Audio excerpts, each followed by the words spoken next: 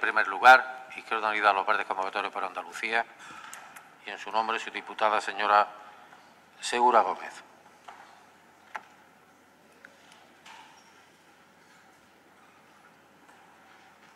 Señora Segura, tiene la palabra.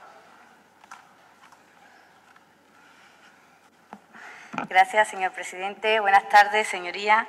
Bueno, ya por fin se ha dado inicio al curso escolar, ya están en funcionamiento casi todas las modalidades educativas.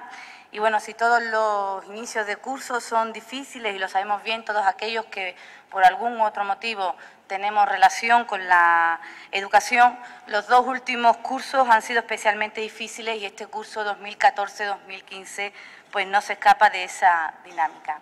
¿Y por qué, eh, señoría, está siendo tan difícil los inicios de curso último para la escuela pública? Pues la razón es muy bien sencilla, porque estamos en el punto álgido del proceso de desmantelamiento de la escuela pública. ¿Y quiénes están llevando a cabo este proceso de desmantelamiento de la escuela pública? Pues también es muy sencillo de identificar. La oligarquía financiera y empresarial, los bancos y las grandes empresas, la conferencia episcopal, o sea, la Iglesia Católica, y como brazo político ejecutor los dos partidos que han gobernado este país durante los últimos 30 años. El desmantelamiento, señorías, que se, eh, se ponen nerviosos cuando escuchan ciertos comentarios, el desmantelamiento de la escuela pública es una de las consecuencias de pactar el 135 de la Constitución, es consecuencia de pactar la creación de la Troika, del rescate bancario y de practicar una política económica capitalista. ¿Y por qué se quiere encargar la escuela pública? Pues también es muy sencillo, hay diversos motivos. Algunos porque necesitan mantener sus cuotas de espacios de adoctrinamiento y lo consiguen con mayor facilidad en la privada que en la pública, otros porque necesitan abrir nuevos caminos para hacer negocios, otros necesitan mantener y aumentar la riqueza de sus amigos con dinero público y por eso se rescatan los bancos, a los que se les ha dado ya hasta 130.000 millones de euros de las arcas públicas que no se han podido gastar en otra cosa, tampoco en educación, 130.000 millones de euros, señoría, 60 veces el presupuesto de educación de 2014 o 90 veces el presupuesto para becas y ayuda a estudios de 2014. Y otros pues tienen sus razones también puramente ideológicas, porque la educación, ya lo hemos dicho muchísimas veces, nos permite a las personas ser cultas, ser libres y transformar la realidad. Y ahora mismo tanto la oligarquía como el bipartidismo monárquico quiere salvar su, chiringuito, el régimen del 78, y necesita una población, entre otras cosas, inculta y sumisa, que no se revele ante las barbaridades haciendo. El panorama es desolador. Los recortes han sido brutales, 7.000 millones de euros menos en los últimos cinco años. Iniciamos un curso escolar en estado de emergencia educativa, con las aulas abarrotadas, con menos profesores y menos recursos, eliminándose las medidas de atención a la diversidad, con recortes o supresión de becas al estudio, de programas como libros, la gratuidad de libros, de servicios como lo del comedor o transporte, y todo ello enmarcado en la aplicación de la LONCE, que viene a justificar y a consolidar todos esos recortes y de desmontar la educación pública y, lo más grave, a desviar intencionadamente el alumnado y el dinero público hacia la enseñanza privada. En este contexto que nosotros calificamos de crisis educativa insostenible, nuestro grupo, como no puede ser de otra manera, valora un año más los esfuerzos del Gobierno andaluz por mantener los niveles de calidad e igualdad en el sistema educativo andaluz. Reconocemos, señor consejero, que el sistema educativo andaluz tiene grandes diferencias con otros sistemas educativos, con los sistemas educativos del resto del territorio español. Y eso se debe principalmente a una razón, a que no gobierna la derecha ni el Partido Popular en nuestra tierra. Y también reconocemos que Andalucía marca la diferencia. Incluso dentro del panorama español podríamos incluso hasta reconocer que seguimos siendo referente en algunos aspectos de defensa de la escuela pública. Y ahí pues están todos esos datos que usted ha expuesto en su intervención, con los que estamos de acuerdo en casi su totalidad.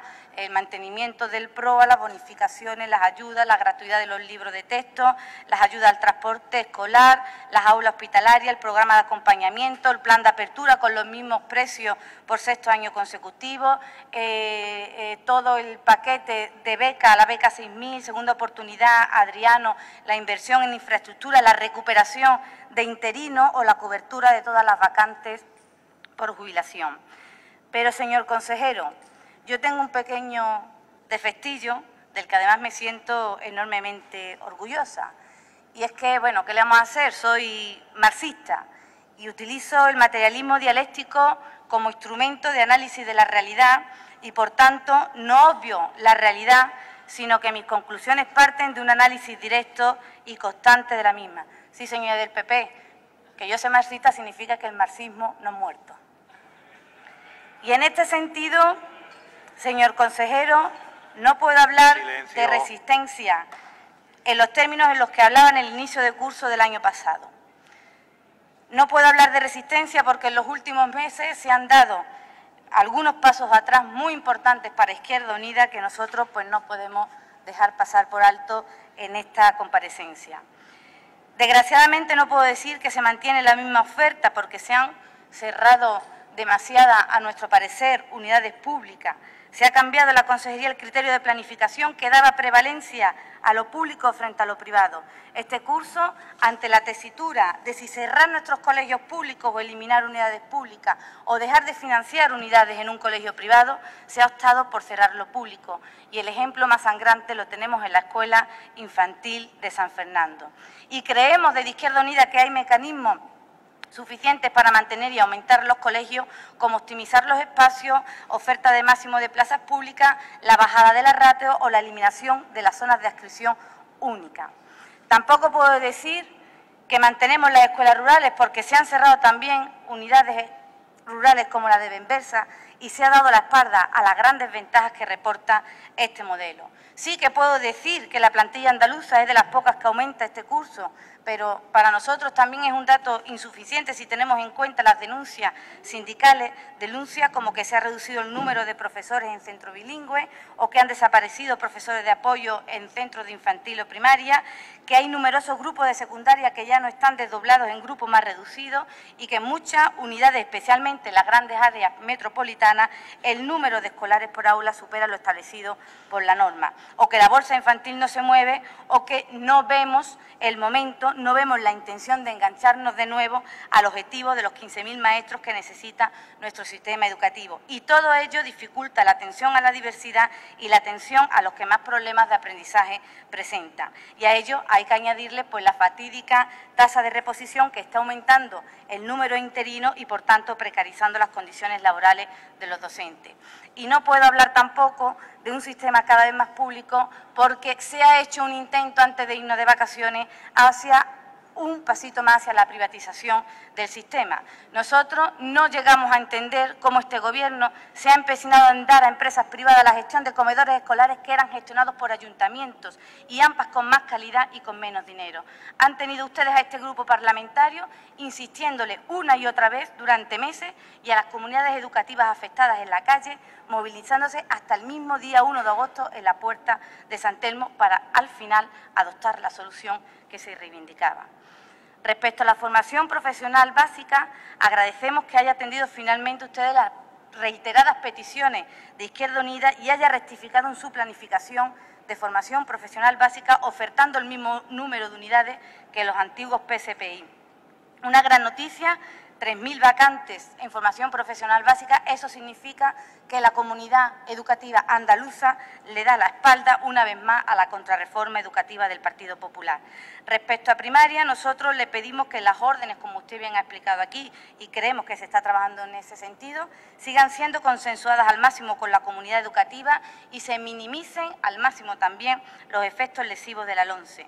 Sí nos gustaría que aclarase en su segunda intervención la gran confusión que se ha creado con la cuestión de la organización de la religión y su alternativa, porque nosotros conocemos el compromiso de la Consejería, lo compartimos y creemos que se merece que sea entendido igual que nosotros lo entendimos por todos los andaluces. Señor consejero, hay un pacto de gobierno donde la educación se le da prioridad política. Y para eso hay que hacer lo que esta fuerza política viene exigiendo al Gobierno andaluz hace años. Hay que blindar la inversión en educación, una inversión suficiente y digna. Y no nos vale más la excusa de las limitaciones presupuestarias o los imperativos del Gobierno central. Porque yo le planteo y le planteo también a todas sus señorías de esta Cámara, si hay un país en el mundo con 11 millones de habitantes que lleva sufriendo un bloqueo económico más de 50 años, más de medio siglo, y organismos internacionales este verano, organismos internacionales nada sospechosos de ser comunistas, ni socialistas, ni castristas, han reconocido este verano que tienen uno de los sistemas educativos de mayor calidad y que es un ejemplo para el mundo, ¿cómo eso no se puede hacer en Andalucía? Señora Segura, no solo, le ruego sí, vaya señor concluyendo. presidente, voy terminando. No solo es una cuestión de falta de recursos, es una cuestión de prioridades. Para este país del que os hablo, la educación es una prioridad y lo demuestran en la práctica con un 12% de inversión del PIB. En España estamos en el 4,37, en Andalucía en torno al 4. Es una cuestión de prioridad y de voluntad política, porque, señores miembros del Consejo de Gobierno, que se tengan, no es posible que se tengan 7 millones para tabletas, que a mi entender es un artículo inútil y yo diría incluso de lujo en estos momentos, y no se tengan 7 millones para contratar maestros, que son los instrumentos necesarios para garantizar la equidad y la calidad en nuestra escuela. Eso es inaceptable. No lo entiende la comunidad educativa, no lo entiende esta diputada, ni cualquier persona a la que se le diga que faltan maestros porque no hay dinero. Por lo eso es por lo que les pido que rectifiquen si pueden en esa medida y si no, por favor, que se abstengan de tomar ese tipo de decisiones en el futuro. Señora Segura, debe de si concluir inmediatamente. Realmente la escuela pública. Y termino de verdad. La escuela pública está siendo agredida y atacada. Y frente a ello, o se defiende o se ataca. No hay tintas medias, no hay medias tintas. Nosotros estamos dispuestos a dar la batalla por defender con uñas y dientes la escuela pública. No como una escuela que nos sirva para, para la movilidad social, señorías del Partido Socialista, sino para educar y formar a personas libres y críticas que actúen y transformen la sociedad y construyan una sociedad precisamente de eso, sin clase, en la que no sea necesario la movilidad social por el hecho de que todos partamos de las mismas condiciones. Muchas gracias.